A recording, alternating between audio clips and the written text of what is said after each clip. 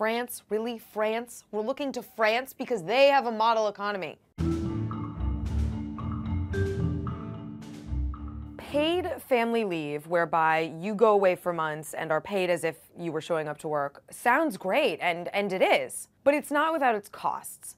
And in selling this idea, President Obama doesn't often talk about the costs. One of his favorite arguments is hey, if France has figured this out, so can we.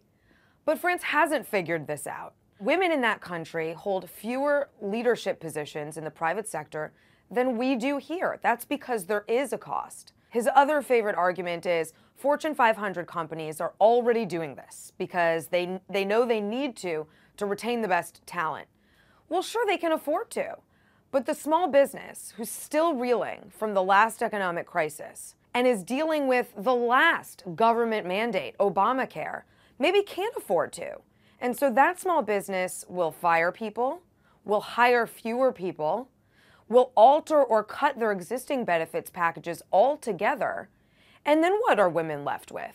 There's a cost to all of these entitlement programs, and as well intentioned as they may be, we still need to discuss what they're going to cost working families.